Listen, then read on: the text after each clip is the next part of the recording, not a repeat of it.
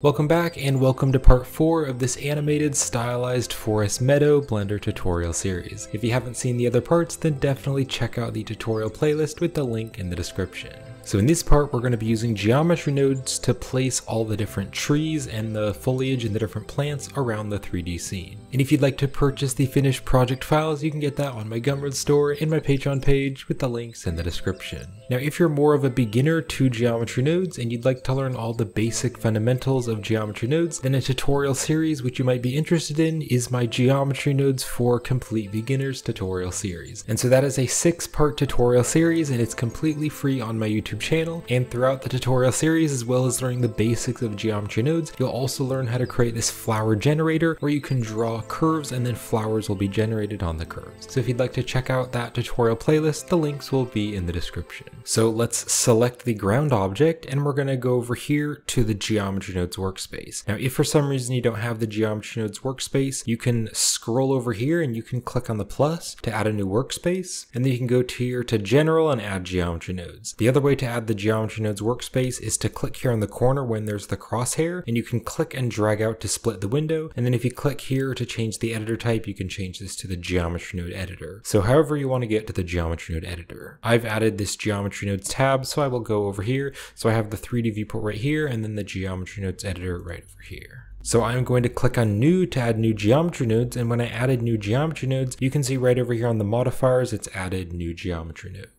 Now I want to rename this, so I'm going to call this grass. And then right here, I'm also going to call this grass. So we're now going to be creating the geometry node setup, which will place the grass all over the scene. So to start off, I'm going to go to the add menu and I'm going to search for the distribute points on faces, we'll add this distribute points on faces right here. And then you can see that it's going to show you these little dots here just for where the points are. And this random here, I want to change this to Poisson disk instead. And then when we add the grass, it'll be kind of laggy if there's lots of grass. So for now, the density max, I'll turn this way down to like a 0.1. So there aren't quite as many of them. Let's also go to the add menu and to actually add the grass on to the ground, I need to add the instance on points node. So instance on points, drop it here. Now you can see that the plane has disappeared, that's because we need to add up the original geometry. So I'll go to the add menu. We need to search for the join geometry and we'll put this here after the instance on points. And the geometry You can go here into the join geometry. So that way we're mixing back the original geometry back into the final setup. So you can actually see it on the ground. To actually add in the grass, we can go to the add menu and we're going to search for a collection info because the collection info will give us the information of whatever collection we choose.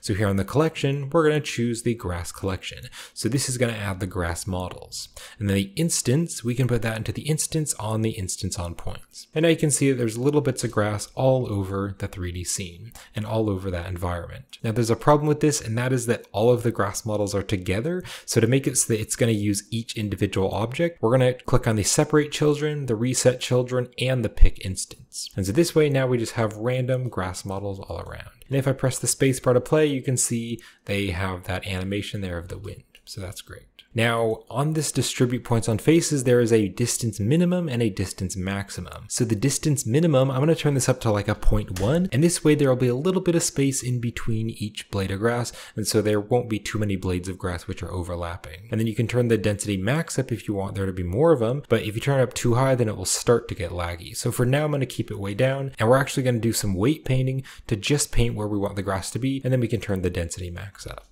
Before we do that though, I would do want to change a few things. So I want to add a random scale and a random rotation just to make them look a bit more random because right now you can see like this blade of grass here and this blade of grass here because they're the same one. They have the same rotation, the same scale, and like these two look almost exactly the same. So I want to make each blade of grass randomly rotated around. So to do this, I'll go to the add menu and I'm going to search for the random value node. Let's drop this here.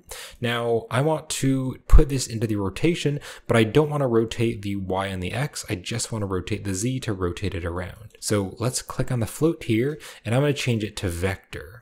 This will break up the values that we have x, y, and z values. So now the value can go into the rotation of the instance on points.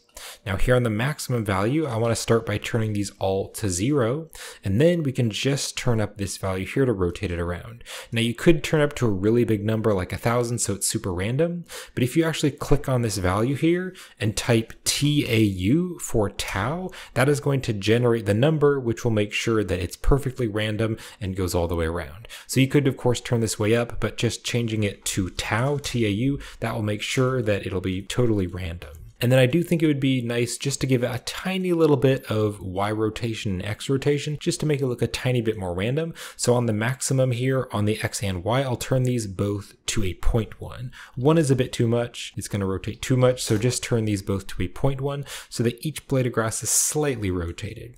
And now that looks much more random. Now I also want to have a random scale so that some are bigger and other ones are smaller. So I'm going to click on the random value and I'll press Shift D to duplicate it and drop it here.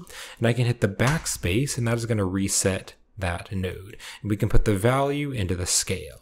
So now we have a minimum and a maximum value. So the minimum value is how small they can be, and then the maximum value is how big they can be. So on the minimum, I'll turn this to like a 0.5 so they can be half the size. So you can see some of them are much smaller, but on the maximum here, I'll turn this to like a 0.8 so that some of them are a bit bigger. So again, that just makes it look much more random. And then of course we can turn up the density factor if we want to.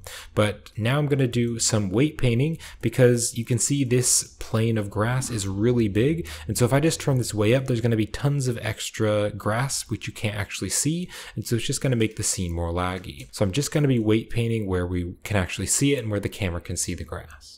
So with the object selected, we're going to click on object mode and we're going to change this to the weight paint. So now in the weight paint mode, you can see we have a few different settings. There is this radius, which is going to be the size of your brush. There's also a strength value. And then if you click here, you can choose between draw and there's a few different ones here. The main ones that you're going to use is add to add values and then subtract to get rid of values. So let's just change this to add. So I can just click right here and that is going to add color. Now, if the color is blue, there won't be any grass, but if the color is red, there's going to be lots of grass. Now, as I paint this, you can see it isn't really changing where the grass is. That is because I need to take this density factor value and we're going to drag this into the group input right here. So just stick it in there. Now, why I'm doing this is so that right over here, the density factor is now going to show up here as a custom value on the geometry nodes modifier. But instead of using a density factor to make it random, to make it more or less, I want to actually tell it to use the weight painting. So we're going to click on this button here, the input attribute toggle, and now we can actually choose this drop down. And if we click on the drop down, we can just choose the point group. Now I'm going to be adding a few different point groups later in the tutorial series. So what I'm going to do is rename this. So let's click over here to go to the object data properties.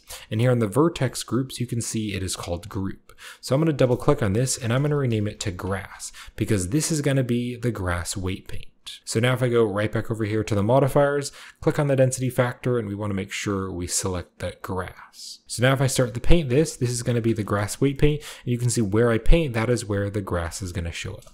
So I can hit the zero on the numpad and go to the camera view, and I can just start to tap a few spots here and there, just so that I can kind of see where the camera is actually seeing, so something like that. And then I can just kind of go along here, and I want to have some areas where there's lots of grass, so lots of red places, but then some other areas where there's no grass. And you can see like right over here, you're not even going to be able to see this area. So if I click on the brush type here, I can change it to subtract, and then I can just draw here. I'm just using my mouse. You could use a drawing tablet if you want to, but I'm just going to use my mouse, and I can subtract that and then I'll change this back to add. Now another shortcut key to make this a bit faster is hold down the control key as you're dragging and that'll subtract, and then if you just draw, that'll just add it. So I'm just gonna go along here and just kind of paint where I want the grass to be. And also like way here, really far in the background, the grass is gonna be really small and so it'll be kind of hard to see. So I don't need to add tons of grass way back here because again it'll just lag the scene. I just want to use the minimum amount of grass that we need. So I really don't need grass too far back there. All right, so that is pretty good for now. So now if I go back here to the geometry nodes, open this up, I can turn up this density max and make it much bigger. And I'm gonna turn it to a 15. I think 15 is pretty good, but you can see now the scene is looking a bit more laggy. So if it's too laggy, you could turn it down, um, but 15 is okay. And actually, after we finish this geometry node setup, we can just hide it in the viewport, and then that way it won't lag the scene, but it'll still render in the final render. Now I think 15 actually isn't quite enough. I want to maybe double it. So this may make the scene a little bit laggy. You might want to just press Control S to save your project again. I'm going to turn it up to like a 30 so there's even more grass. That looks a bit better. Let's click here on the weight paint and I can go back to object mode. So now to make this so that it's not lagging the scene as much, we can click on this little monitor icon here on the geometry nodes. That's going to hide it from the view, but if we render it, it's still going to show up in the render. If I press F12 to render, you can see the grass is still going to show up in the render even though it's hidden from the view. So I'll hit escape to go back to the 3D view. So now we're going to be adding the flowers onto the ground and we're pretty much going to be using the same setup. So what I'm going to do is click on add modifier here. We can search for the geometry nodes modifier. We'll add geometry nodes. Let's click on new to add new geometry nodes. And then I can just rename this. So I'll rename this to flowers and call this flowers as well. Now, instead of recreating the entire geometry node setup, we can just copy the same setup. So what I'm going to do first is click here to hide the flowers from our view so it won't get laggy. Then I can click here to select the grass geometry nodes. And I'll press the A key to make sure all of the geometry nodes are selected. And I'll hold down the shift key and just click on one of them to make sure one of them is active. I can now press Control C, which is going to copy the nodes. Then I can click on the flowers geometry nodes. I can press the A key to select these nodes nodes and I'll delete them with the X key, and then I'll press Ctrl V to paste the geometry nodes. Now to make sure it's not very laggy, this density max, I'll turn it down to just like a 0.1. And then we can click on this button here just to show the geometry nodes. So now you can see it's showing us the geometry nodes, but it has the grass. So we just need to change this out. So we'll delete the grass. And then if we click here on the collection, we're going to choose the flowers instead. So now we have little flowers all over the meadow. And then I do want to change the size a little bit. So here on the random value, I'm going to make the minimum value a 0.8. So they're a bit bigger. And then the maximum value, I'm going to turn this up to a 0.9. And so you can see the minimum value and maximum value aren't that different because I don't want there to be a huge difference between all the flowers. All right, so that's pretty good. And if you want to, you can just show the grass and see how it looks like with the grass and the flowers, but I will hide the grass for now. And then when it comes to the amount of flowers, first we're going to be weight painting it and then we can turn up the density max if we want to add a bit more flowers. So let's just select the object again. We're going to go here from object mode and we're going to go to weight paint, but then instead of painting the grass, what I want to do is click over here to go to the object data properties and we're going to add a new vertex group. So I'll click on the plus here to add a new group. I can double click on this and I'll rename it to flowers. So then to make sure that you're painting the flowers group, you can click here and you can see you can choose between the grass or the flowers. So now let's pretty much do the same thing, but I want it to be in some different areas. So I'm just going to start to paint around here and I'm going to paint wherever I want the flowers to be. And then to make the flowers actually show up on the red area, we want to do the same thing. So the density factor is going to go into the geometry here. And then if you go to the modifiers, you can see the flowers. We want to click on the input attribute toggle. And then if we click on this here, we want to choose the flowers here, which is this weight paint. So now wherever I paint, that is where the flowers are going to show up. So now let's just paint in a few little areas, a few clumps here and there where I want the flowers to be, but we're not going to have it everywhere. So just a few spots here and there. All right, and a few flowers farther back. Go into the camera view, see how that is looking. Maybe a few more flowers right here, maybe up on this hill as well. All right, and also back here, we'll add a bunch more flowers back there. And it looks like right over here, we also should add some flowers. So right over there, kind of farther back there. All right, so now that I've kind of painted where I want the flowers to be, this density max, I'm gonna turn this up to one so there are quite a bit of flowers. And I do think that's just a little bit too many flowers, so on this density max, maybe I'll turn this down to like a 0.7, maybe even down to like a 0.5, that's a little bit better, because I don't want there to be too many flowers. Alright, that's pretty good, let's go from weight paint back to object mode, we can see how that is looking. And I think really quick, I will go back to the weight paint, and then what I can actually do is just click on this button right here, and this is gonna hide the overlays, and then I can hold down the control key and I can kind of get rid of a few flowers, because some of these areas I think there's a bit too many flowers. So just kind of go into the camera view, maybe get rid of a few areas here because they do want a few areas where there's no flowers, but then some spots where there's lots of flowers. So something like that is a little bit better. I like kind of having an empty spot there. All right, let's click on this button here to show the overlays again and we'll go back to object mode and I can save this with control S. So now we can hide the flowers again so it won't lag the viewport. So we'll click on this little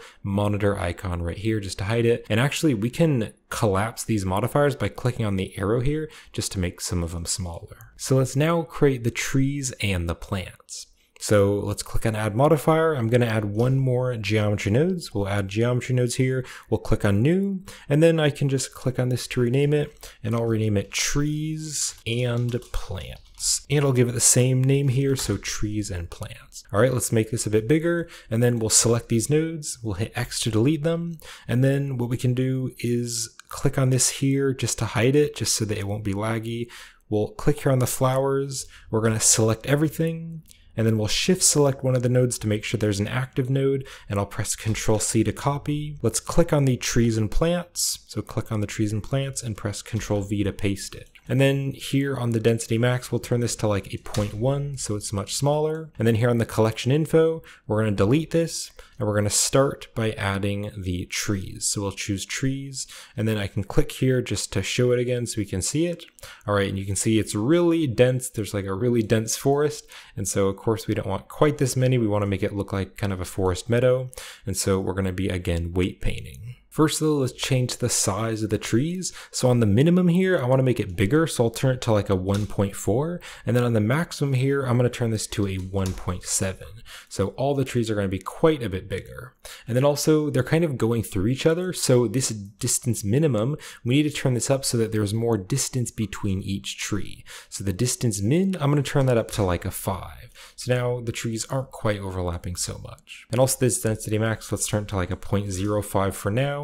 So just half it. So 0.05, so there aren't quite as many trees. All right, we'll select the object and we'll click on object mode. We'll go to weight paint and then we want to add a new weight paint. So we'll click here on the object data properties. Let's click on the plus here to add a new group here or a new vertex group. We'll double click on this to rename it and we'll rename it to trees and plants.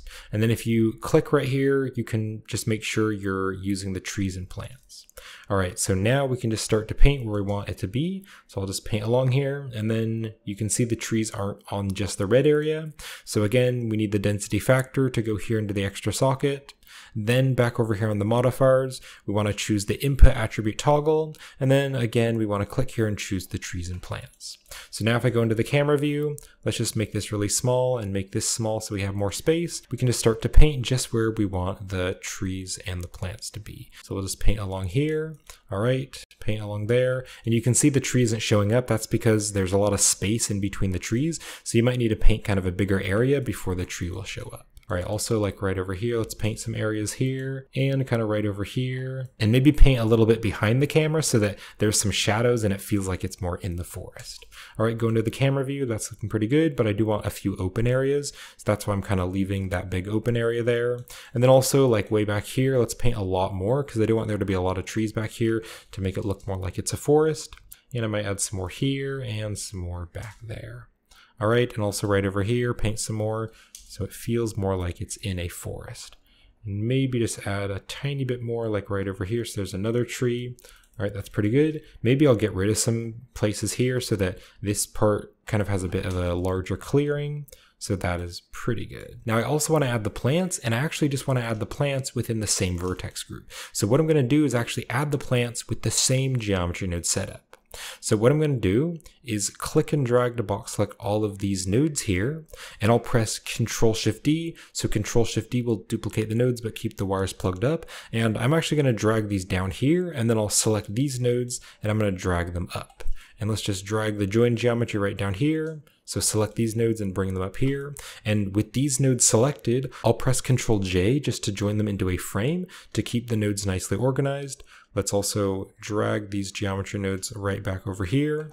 So then these nodes here, these are all the tree nodes. So if I click on the frame, I can press F2 to add a label and I can just call this trees. Then these nodes down here, I can press Ctrl J to join them together into a frame just to keep them nicely organized. And these are going to be the plants. So if I press F2 to add a label, I can call this plants. And then right here on the trees, we'll delete this, get rid of the collection info. And here on the dropdown, we're going to choose the plants instead. So now what I want to do is join them all up together. So instead of using multiple join geometries, we want this instance on points to be going into this join geometry right here. And then this join geometry we don't need, so I'll hit X to delete it. So now if I zoom in here, you can see there's also going to be a plant wherever the tree is because there's the plants and then there's the trees up here. So we're joining them all together with one join geometry. Now the problem with this is that the plant is in the same exact location. So to fix this, right down here on the plants, we can just change this seed value and just randomize the seed. So you can really change it to any value you want. Just make it a different seed value from the seed value where the trees are. And now you can see there's going to be little plants here and there all over the weight painting. And then we can also turn the density max up a bit more. I could turn up to like maybe a three, so there's more of them. So you can now see there's little plants here and there. Now I do want to change the size of the plants. So here on the plants, let's go to this random value, which will control the scale. And the minimum, I want to turn to one. And then the maximum, I just want to turn to like a 1.3. So 1.3, so that they are a bit smaller. Now you can see the distance min here is quite big on the plants, and I don't need it to be that big. We turn this way up for the trees, but it doesn't need to be that big for the plants because the plants are smaller. So this distance min, I can turn to like a 0.1. Now there are quite a bit too many plants right now. So on the density max, I will turn this way down to like a 0.4 so that there aren't quite as many plants. And that might be still a little bit too many plants. So maybe turn it down to like a 0.03. All right, so that was a bit better. And we can also just go along here and we can paint in a few more areas where we want the plants to be. So just paint in a few more areas and there's just gonna be a few more of those plants. Maybe a few here, and over there. All right, so let's click on the weight paint and we'll go back to object mode and we'll make this a bit smaller and actually we can just go back here to the layouts. we can see this in the full screen. And it's really starting to look like a forest or a forest meadow. And of course, if you want to go over here to the modifiers, you can click on these buttons here to see the flowers and the grass. But you can see it is going to be a bit laggy in the viewport, but the scene is really starting to come together now. I'm just going to hide the grass and the flowers by clicking on those monitor icons just to hide them from the view. So let's press Ctrl S to save and this will wrap it up for this part. So I hope you're enjoying the tutorial series, I hope you're easily able to follow along, and thank you so much for watching. And if you'd like to watch a complete introduction tutorial series on geometry nodes, then definitely check out my Geometry Nodes for Beginners tutorial series, which is a six part tutorial series completely free on my YouTube channel. I'll have the link to that in the description if you're interested. So in the next part, in part five, we're going to be creating the butterfly and we will animate the butterfly's wings flapping and then we'll be animating the butterfly just flying through the scene. So when the next part is released, it'll be right up there on the end screen and the link will be in the description. So I hope you're enjoying this, thanks for watching, and I'll see you in the next part.